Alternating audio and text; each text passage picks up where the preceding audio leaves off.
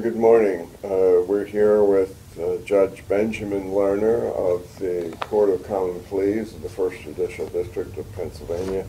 Welcome, Judge Lerner, Thank you for having me. and we're very happy that you're contributing to this project. It's my pleasure. To start at the beginning, uh, can you tell us a little bit about your early background? Sure. I grew up in a family of three boys, um, of whom I was barely the oldest by less than a year. Uh, we grew up in Feltonville, which is a neighborhood in uh, the lower northeast or the or upper North Philadelphia, depending on how you're looking at the map. Right. Uh, I went to public school, uh, Central High School, class of uh, the two, the, two, the 209th class. Okay, Um, You're not allowed to speak about Central without mentioning the class The that you class. graduated from. okay. Um, And uh, started college at the University of Pennsylvania. Uh, I was commuting, which was not a very good way to go to college. Right, I graduated, transferred to Brandeis in my junior year okay. graduated from there, and then came back and uh, uh, went to the University of Pennsylvania Law School. My brother, who had been a year behind me in high school, had caught up by that point, and so uh, I had the pleasure of going all through law school uh, with my brother. Um, Did that work out well? That actually was a wonderful experience. Oh, good. Uh, At least I was a wonderful experience for me, and I surely hope it was for him. Uh, When I graduated, I uh, spent a year clerking for a very wonderful man, a United States District Court judge in San Francisco named Stanley Weigel, who taught me a lot about being a judge Okay, long before I ever thought right. that I might ever be a judge. Um, After that, I came back uh, to Philadelphia to participate for two years in a graduate program in criminal law between the University of Pennsylvania Law School Yeah, and the Defender Association, which was then a much smaller, uh, less organized organization than it later became and is now. a little before you actually became chief defender. Yes, several, several years before. Maybe planted the seeds, I don't know. Well, it certainly, it certainly um, kind of got the uh, criminal justice system hooks in me, so Uh-huh. that uh, I've never been too far away from that during most of my career. I noticed by reading your uh, CV, so. Uh, now that, you, you mentioned that program and, and that was a sort of a twofold program with actually trying cases and also supervising the law students at the time. That's right. Uh, Professor Tony Amsterdam, who got a Ford Foundation grant to start this program with the idea of first uh, exposing law students who might never practice in this area to uh, some idea of what the criminal justice system was really like, especially for indigent defendants, right? and also to help out what was then a very small Right. defender uh, association Uh-huh. with very few uh, experienced people. The idea was that the graduate fellows, who were recent graduates from law schools around the country, would work at the Defender Association part-time. Mhm. It was a two-year program. And we would do everything the assistant defenders did in terms of preparing and trying cases Right. but we would also supervise the third-year Penn law students who were, as part of their coursework, um, working at the Defender Association. Okay.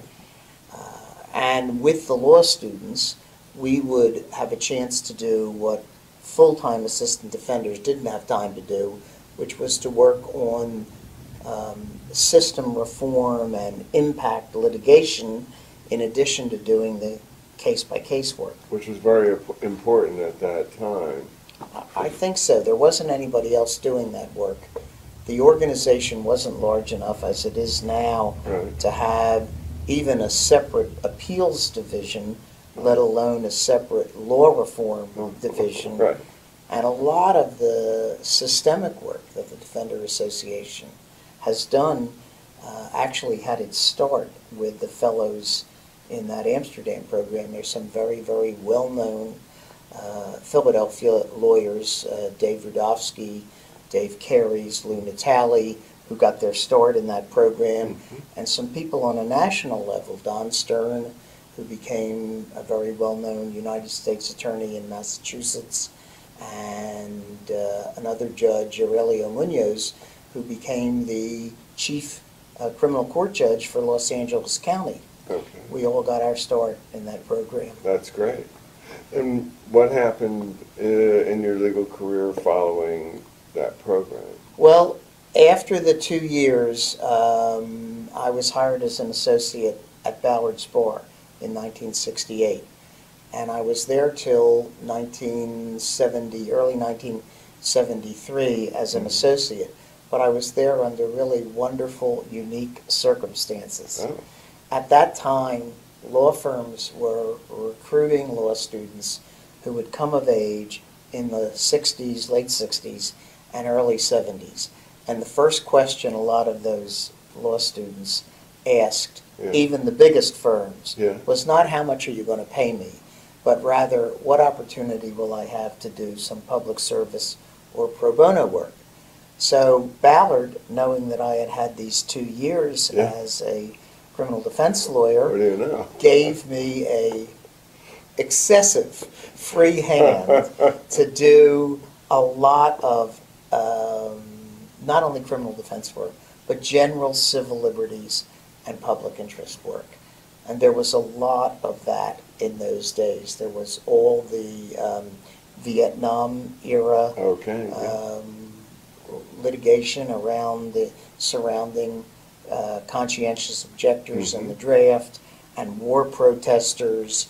Uh, There were national grand jury, um, Justice Department, grand jury investigations of uh, people like the Berrigans and their Oh, right, associates. Yeah, And Ballard allowed me to get involved in that. Probably after a few years had passed and I wasn't making any money for them, uh, probably they wondered if they had given me too free a hand. And probably they did. And when they suggested that, uh, by that time I was really hooked, I think, on both public service and criminal defense work. And I had an opportunity to join the um, uh, Shapp administration in Harrisburg. At that time, the Attorney General was not an independently elected official.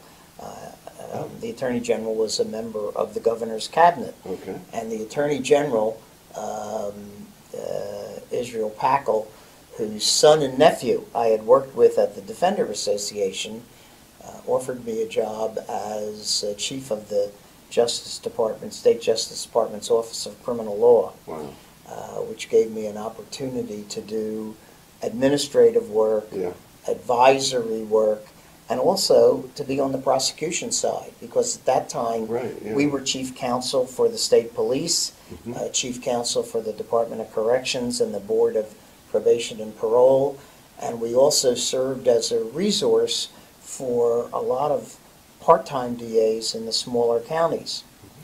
Uh, I did that work for about two years. The chief defender position came open, and I applied for that, and uh, I was lucky enough to be selected um, in late 1974. uh, And you were there for quite I was some there for 15 years, Yeah, from 1975 through the middle of 1990. but combining your service to the poor, criminal, uh, both defense and prosecution, and the organization uh, experience that you got from working at the uh, uh, Attorney General's office and elsewhere, it seemed like a perfect fit for you to uh, jump into that chief defender's uh, position. Well, I thought it was a perfect fit. I didn't know whether the board search committee would think it was a perfect fit. Um, and uh, I'm not sure. In fact, I am sure. I wasn't their first choice. But I like to think we were both equally satisfied You were the best with the way that choice. turned out. Okay. I'm sure they were too. And after your work at at the Defender Association, which was quite extensive, as we said, for 15 or 16 years. Then what happened? Uh, Well, I left the Defender Association, uh, frankly, because I thought I had been there long enough so that I was maybe getting a little, a little stale. uh-huh. Um, but also for financial reasons. Uh, my ex-wife had been working as a partner in a major Philadelphia law firm. Oh. Uh, she had decided to retire from the practice to Uh-huh. raise our son, who was about three years old at that time. Uh, and so I started to look for uh, something else, and I uh, resigned and, from the defender position and went into private practice, uh, and ultimately wound up with the uh, Dilworth Paxson Law Firm, Okay. which was just a great place for me to be. A. Tremendous opportunity. Um, The people who ran that firm, Bruce Kauffman, uh, Steve Harmelin, Joe Jacovini, gave me a great opportunity to come and sharpen my litigation skills right. and um, also to, um, to broaden my practice. Hmm. I had done some civil litigation while I'd been at Ballard, Yeah. but obviously I hadn't done any in the 17 years Right. before I went to Dilworth. So uh, they gave me an opportunity to do a lot of work at a time when most firms would not hire you at the level I came in at unless you had a book of business to bring. Right, okay. Well, obviously, I didn't have a book of business No. to bring, but they gave me an opportunity there, and uh, by that time, I had really started to think seriously about my interest in becoming a judge. Great. Um, And the one thing that, uh, the, one of the essential things that Dilworth provided, they're a politically connected firm Mhm. on both sides of the aisle. Right. And obviously, while I was at the Defender's Office, I hadn't had a chance to um, build up that portfolio of um, politically active work. I'd, Right. I'd done a lot of public service work, obviously, um, with Dilworth, I also got the opportunity uh, to do work on cases that were of interest to the people who were Oh. influential Okay. in uh, making judges. Right. And uh, fortunately, also, um, Tom Ridge, when he was governor, had hired Paul Tufano from the Blank firm Mhm. uh, as his general counsel. And I knew Paul through my ex-wife and also because while I was at the Defender Association, we had been involved in helping Blank Rome set up a project which you probably remember Okay. from your days in family court. They did a, uh, they wanted to do a pro bono project providing representation in juvenile court Right. to uh, juveniles who couldn't afford counsel. And our office cooperated with that effort Okay. and provided them with some training and a little bit of supervision. And so when I approached Paul and his deputy, Bill Chadwick, Right. who had been Ron Castille's first assistant Uh-huh. uh, when Ron was the DA and I was the chief defender, they brought my interest to their boss in a very favorable, strong way. Good. Uh, and uh, fortunately for me, uh, um, the uh, uh, Democratic City Committee and um, uh, Governor Ridge Yeah. uh, were putting, to- and Senator Frank Salvatore were putting together a uh, appointment package for Philadelphia judges Okay. in 19, late 1995 and early 1996, and Governor Ridge insisted that I be part of that package. Well, that's great. It was great. It Yeah. was, uh, it was a tremendous boost for me, and I was appointed in 1996 and sworn in on June 6, 1996. Congratulations. Well, thank you. and we're happy but- that you're here. But, but The story didn't end there. Right. Because, as you know, when you're appointed, you've got to run in the next election, Sure do. and you have to win the Democratic primary in order to stay on the bench. Right, Well, I had learned a lot about the appointment process, but obviously I hadn't learned anything About the about the election election process. Because even though I was endorsed by the city committee in the 97 primary, I was one of four out of seven endorsed Common Pleas candidates who lost the primary that oh, year. okay, So obviously, losing the primary meant you were not going to win the general election. exactly. And so my first term ended very quickly, Yeah. the end of 1997. But Governor Ridge had let me know that um, he would make sure I got another chance, that he Okay. was going to reappoint me. Good. The party didn't object to that, Mhm. but as the governor said to me, listen, I can reappoint you, but I can't help you in these Democratic primary elections. Right, That's something you're going to have to learn how to do yourself. okay. Unfortunately, by 1999, I You managed to learn how to do it. So then I went back on the bench. Uh, Well, actually, I got reappointed in uh, 98, Yes. and I was back on the bench uh, in the spring of 1998, but this time I was able to stay.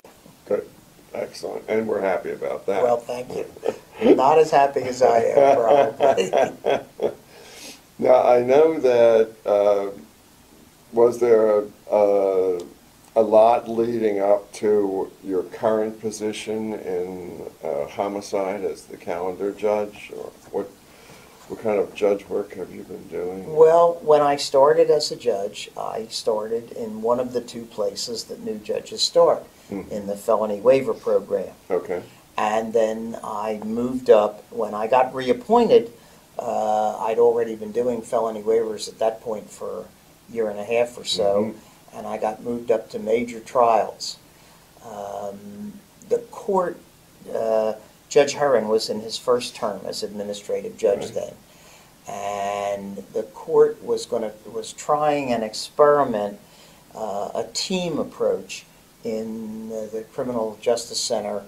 Um, And some of the teams would be combined major trial and homicide cases. yeah, And Judge Herron asked me to be the head of one of the teams, uh, which I was happy to do. And that was a combination of trial work uh-huh, and administrative work, pretrial, getting some cases ready to be tried by other judges, and you also had your own uh, trial list.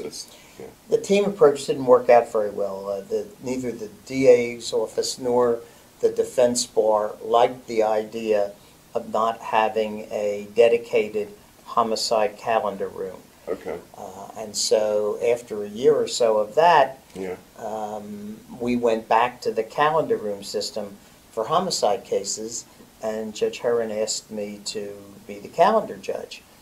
Um, I, I have to tell you, I was a little apprehensive about doing that, because while I was at the defender's office, we weren't handling homicide cases. right, Uh, certainly not on a regular basis. We had one or two. mhm, And I had had a few homicide cases in uh, private practice, Oh. but I did not think, and I was right in this, that I was in any way an expert in homicide, uh, in the, in the homicide law yeah, or the homicide program. But Judge Herron told me that um, if I kept my mouth shut more than I'm likely to do, and if I actually paid attention to some of the more experienced lawyers in the defense bar, the Defender Association, Uh-huh. and the DA's office, they would teach me what I needed to know. okay, And I think they have yeah, because I've been doing this assignment since, um, ooh, 2001. yeah, okay, so it's been some time It's now. been some time now. Yeah. Yes, yes. Now, that, that, go. Excuse me. Mhm, The other part of my assignment, which is less well-known and less public, but at least as important, is the direct file decertification Oh. calendar. right, And that is something that I know you're familiar Yes. with. Um, When the district attorney wants to try a juvenile defendant in adult court under the uh, direct file statute, the defendant has an opportunity to file a motion called a decertification motion to try to get sent back to juvenile Juvenile, court. Yeah, And I started doing that calendar when I started doing the homicide calendar in 2001. So I've done almost all of the decertification uh, okay. hearings. And they're in very Philadelphia. important decisions, They as are you said, yeah. Incredibly important in the lives of these juveniles whose, you learn a, a, a lot about their background. The hearing is more, i- is not only about the facts or the allegations uh, in the cases in which they're charged, but it's also about their backgrounds Their and whether lives. they are amenable to rehabilitation Yeah. in the juvenile system uh, in the time remaining in the system. And so you really learn everything about uh, these young people's backgrounds Right. from really their birth. Yeah, Uh, sure. And it's, it's just, you know from your experience that there are a lot of kids in this city who are really never given a chance. Right, And not never given a chance by the system. It's not the system's fault frequently, it's the fact that they don't have any parenting. no, from the uh, beginning. From the beginning. Right, They're raised on the streets, and you see that. In Yeah. every one of these cases, you see everything that can be done to destroy a child exactly. from birth. Yeah. But you also see, unfortunately, everything that children raised like that are capable of doing to other people. Yeah, which, And then you have to draw the ball, uh, draw the line about which ones ought to have another shot at juvenile court right. and which ones don't. As a former juvenile probation officer, I experienced some of those cases uh, firsthand. And you're right, it's, I mean, I can't imagine the balancing act that you have to go through in order to properly decide those decertification Well, petitions. I would say even, even including the homicide work Yeah, and some very different, difficult homicide trials and sentencings, on the whole, the direct file decertification work is the hardest thing I've ever had to do as a judge, and maybe the most important. okay, I agree with you. Now, um, you mentioned before about the uh, uh, practice of law and how recent graduates at, at the, the time were interested in public service and pro bono work. Um, How do you think the practice of law has changed to today? Well, I think it's changed At least, several times, Okay. uh, depending on the economic situation. Um, Right now, I think most people coming out of law school just want to get a job. right, Uh, People come out of really good law schools with good records, and uh, as our judicial fellowship program demonstrates, a lot of them simply can't find a job for a Right. while. yeah, So no matter what their interest is in public service, they've got to put self-preservation first. Mm. Also, when I was graduating law school, people were not coming out with these huge student loan debts. all right, And if you come out of school and you owe fifty thousand dollars or sixty thousand dollars, you have to think about how you're going to pay that back. exactly. Um, I will say this, that I think that in the last ten years or so, uh, maybe even a little longer, law schools have gotten a lot more sensitive about these problems. And they're doing what they can in terms of clinical programs and internships to encourage students in, uh, uh, in public service work. My alma mater, Penn, is a good example of that, Mhm. I think. Okay. Now, uh, how about your, your, uh, your experience uh, during your whole life, your experience with the law? Were there any particular individuals to whom you looked up to and tried to maybe emulate, or at least who you, whom you admired? Well, I had no experience to speak of with lawyers um, before I went to law school. Uh, there were no lawyers in my family, and in Oh. fact, my brothers and I were the first uh, we, we went to college, and that was unusual Yeah, in our family. same with me. Um, But in, at Penn, which was a relatively small school, you could get to know the professors really well. Uh-huh. And my first real experience um, was with a handful of professors at Penn. Uh, Tony Amsterdam, I've already mentioned. Right, Paul Bender, who got me this clerkship with uh, Judge Weigel, okay. uh, which was so important Right. uh, to me. Um, uh, Howard Lesnick, who just recently retired. These were all really brilliant professors who were, well, I would say they were instrumental in in giving us the idea Yeah, that public service work was as valuable and as important for a lawyer as anything else that you could do. uh-huh. And I think that uh, it's no accident that both my brother and I uh, were directed toward public service work, even though he had a long career in private practice Mhm. and I had a couple of uh, shorter uh, sessions in private okay. practice. Um, So that was where, that, that was the first influence. Yeah.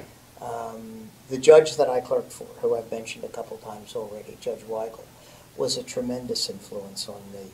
He was a old-fashioned California Republican uh, appointee. Uh, He, uh, although he had been appointed by President Kennedy, uh, he was uh, conservative in a lot of economic ways, Mhm. but he was socially very progressive. And even though in his background, um, he had never practiced uh, in a way where he did much work for um, indigent defendants or indigent uh, civil clients, he instinctively knew that the um, less resources Yeah, a litigant had, the more care the judge had to take of that litigant. very good. And he knew it because that was the kind of person he Mhm. was. Mhm. And I think that's the most significant thing that I learned from him. Yeah, And I hope that that's characterized my career, both pre-judicial and judicial. very well, and it seems to be from how you've described your, your current duties especially.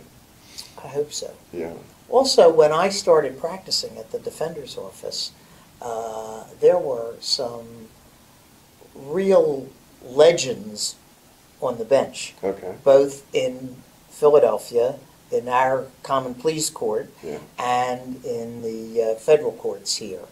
Uh, uh, Judge uh, uh, Donald Jam- Jamieson, who was the first uh, president judge that I worked with, and then Judge Bradley, whose career as president judge uh, kind of coincided with my tenure at the Defender Association okay, uh-huh. um, Judge Greenberg, Judge Levin, and Clifford Scott Green, who is just one of the most wonderful judges um, and human beings that anybody could ever hope to uh, uh, hope to meet. And I started off, actually, my first experience with Judge Green was in family court, Oh. representing defender clients in the late '60s uh, over at 1801 Vine. right, And then later on, I had uh, the uh, good fortune of being before him representing the state police, the Pennsylvania State Police,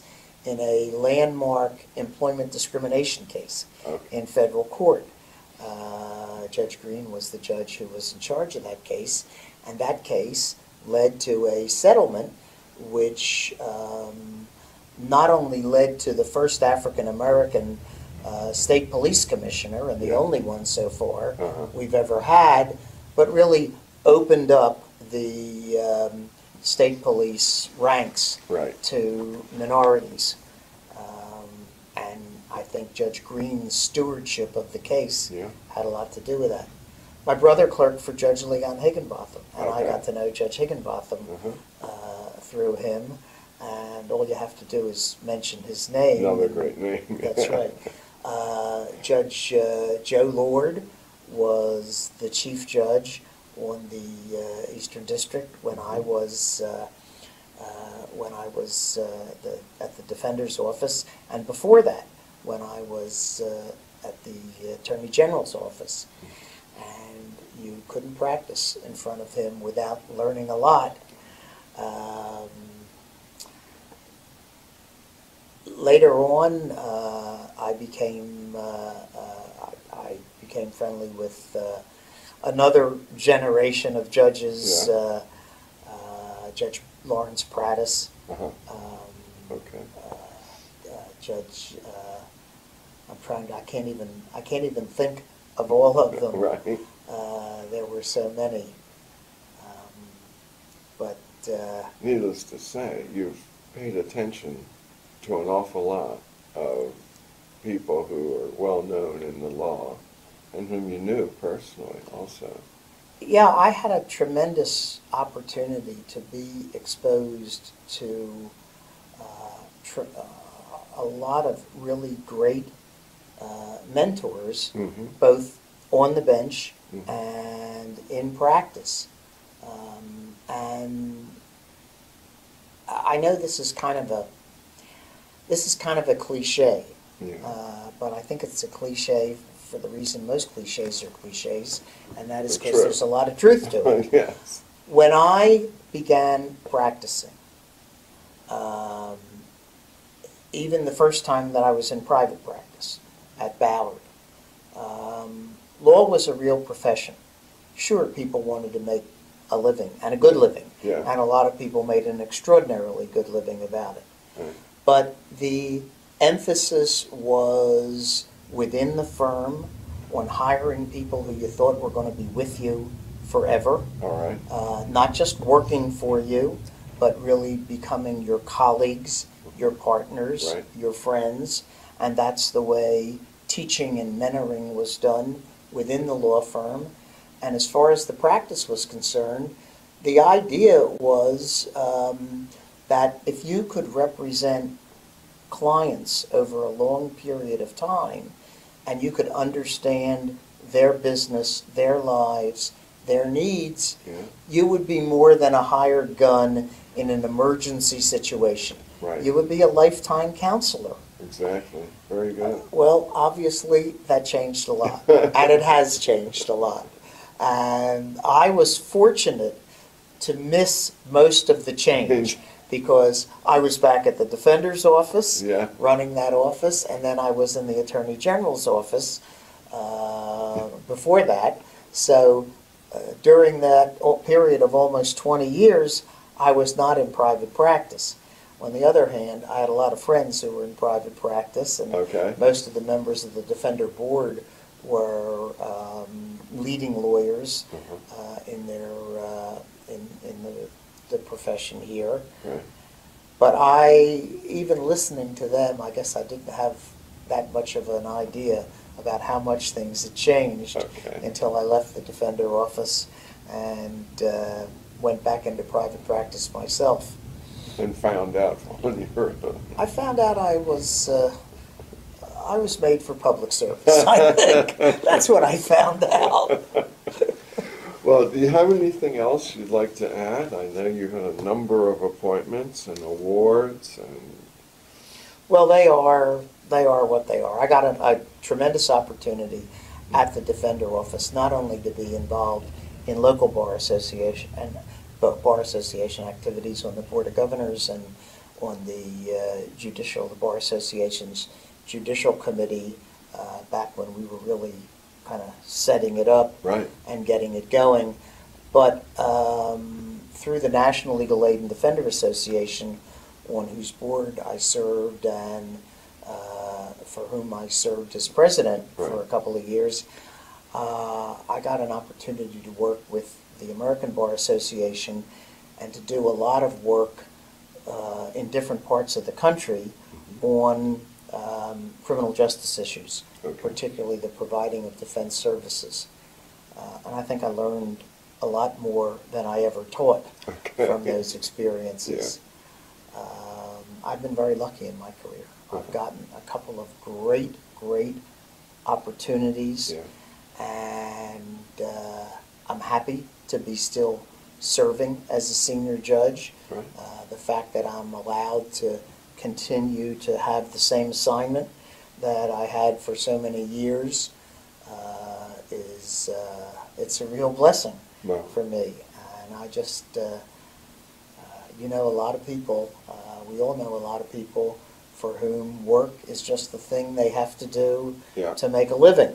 And I know how lucky I am to be one of those people who, for most of my career, has been able to say, I can't think of anything I'd rather do when I get up this morning than go and do this job. that's great. And we're very fortunate at the court system to have you. Well, that's very kind of you. Thank you. Thanks again. Thank Judge Benjamin much. Lerner.